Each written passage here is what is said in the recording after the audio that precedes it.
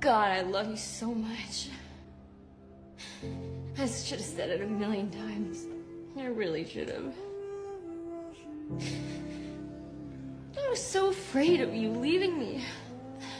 And I, I know we both know that I'm, I'm not easy. I know I'm not. And and you're the best thing that ever happened to me.